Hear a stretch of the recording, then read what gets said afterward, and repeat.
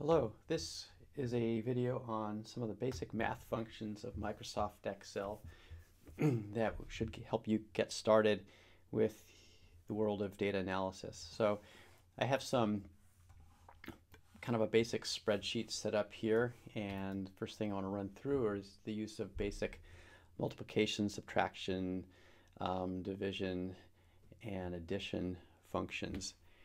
And what you end up doing is typing in formulas that basically fit this basic format. So for this um, cell right here, if I'm trying to add in these two figures together, so we're going to call this complications, we're going to say that, it, just for purposes of discussion, that it's equal to deaths and line infections.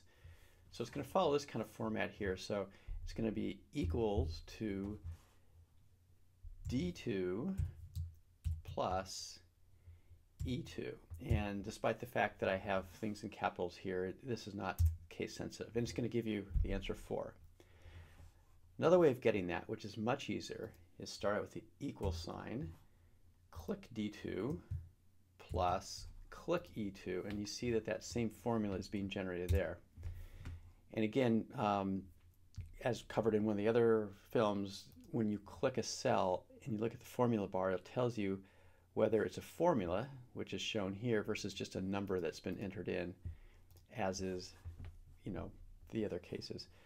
So once you've basically, if, if the idea is that this whole column is going to consist of the same kind of formula replicated up and down, what you can do is you just copy that and either drag that cell down if it's a small number like this, or, sorry, um, or copy that and just select the array of cells that you want to paste the function in and push the paste command. Um, basically control um, V or command V on a Macintosh and that gets you that same kind of formula moved right on down.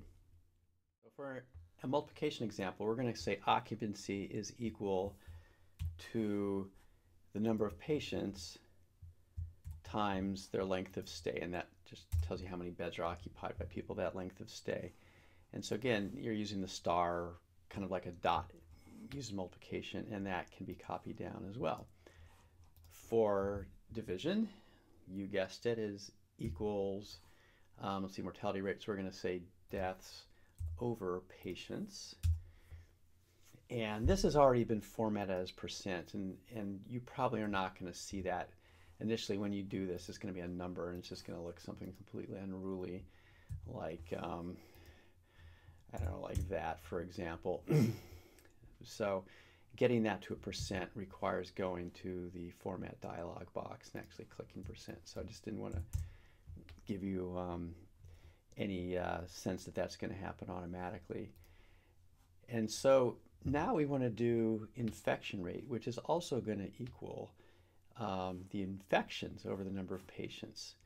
And so it'd be tempted to think, wow, if we could just copy this and paste it here, um, we would get our result. But no, the problem is, is this mortality rate is basically in computer ease, the number of the value that's one, two, three, four boxes to the left over the value that's five boxes to the left. And so when we copy that here, we're getting four boxes to the left over five boxes to the left, with which has absolutely nothing to do with the number you're trying to get.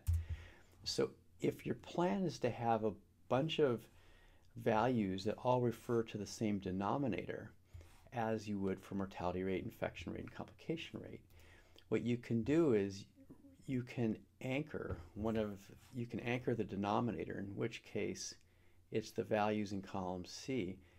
Um, you can anchor it in the following way, and that's type a dollar sign in front of the C when you first set up that equation. Now look what happens. I'm pasting it over here, and now that's actually showing the line infection rate over the number of patients, just as mortality rate was mortality over number of patients. And then once you've anchored that, um, the denominator column C, look what happens when you copy that and then paste it horizontally. This one is complications. Again, it's anchored to column C, and we saw that infections are done in the same way. So, I mean, here's like the really easy shortcut too, is once you've kind of set this thing up in this manner, you can essentially copy this cell and paste it for this whole array, and you're going to get the answers that you're after. And so what's happening is when you're anchoring a denominator, you no matter what you do um, in this dimension, going horizontally, that denominator will be the same. But as you go vertically on down, look at the formulas. See you're anchoring to column C, but you're moving up and down to columns 4, 5, 6, 7, 8, 9, if that makes sense. So that's a really powerful tool. And you can imagine that if this, if you're using the same denominator for 10 values all the way to the right and thousands deep um, in the fact that you could just paste this command over that huge array of cells in a matter of five or 10 seconds is just amazingly fast compared to some of the manual setup that you'd have to do otherwise. So a couple other functions that um, are good for just kind of quick assessment. One is just summing values of columns. So if you just want to have the sum of these columns here, you would type, type equals sum, and then you open up some brackets, drag the whole array that you're after, push the right-hand bracket, and then return. And sorry, that's a little bit small. And that gives you the sum of that column. And just, and you guess it, you can kind of move that um, right and left as you need and to um, you know kind of replicate that same formula. If there's ever, ever any question about what the formula is, there's two ways of looking at it. One is just click the box and see what the formula is up here. The other one is actually double clicking the box and what that'll do is highlight the area that you are um, summing, which is kind of cool. The thing is, is one, if you double click that box, and if you start clicking other boxes, it starts polluting your formula with other things. So you've got to really basically, um, once you've clicked the box to see what the formula is, the only way out is you got to hit return to preserve that formula. But as you saw, you know, as I screwed things up, and this is how I do screw things up quite a bit, um, if it looks like the things are screwed up, rather than kind of going back and trying to figure out what you did, just hit return, know that you've got a messed up value, and then hit Command Z and just go back to where you were before.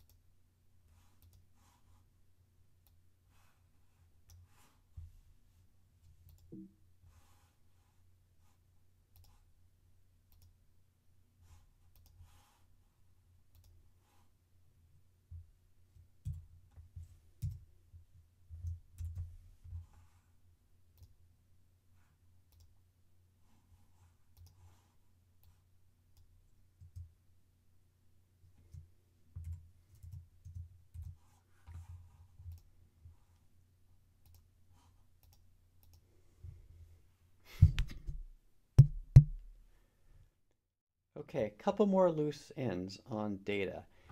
Often it's really important to be able to serial number your data, and that way you can get patient names out of the way and handle the data in a de-identified manner. This is how you do it. So the first patient is going to be 1, and the second one you want to have 2, and so forth. Here's the formula. Equals 1 plus whatever is above it. See how that turns into 2. So if you copy this and just drag it on down, look what you get. You get a nice numbered array. And so these are now serial numbered patients that you can sort, play with, whatever. And, um, you know, no worries about the identified data. So you can see here that we have these organized according to like male, female, and so forth. So what I'm going to do is something um, kind of fun. I am going to sort these according to gender. And let's see what happens. Everything completely falls apart as far as my patient numbering.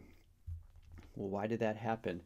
Turns out to be that this is the true number one. In fact, if I click this, I can see in the formula box that it's one, and everything else is asking it to add one to whatever is above it. And so once you have one, it starts numbering very nicely. But these, this was never the original number two, and who knows what the other ones were.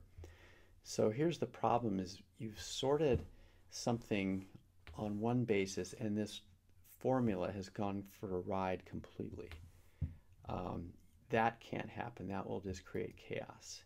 Here's your way around it.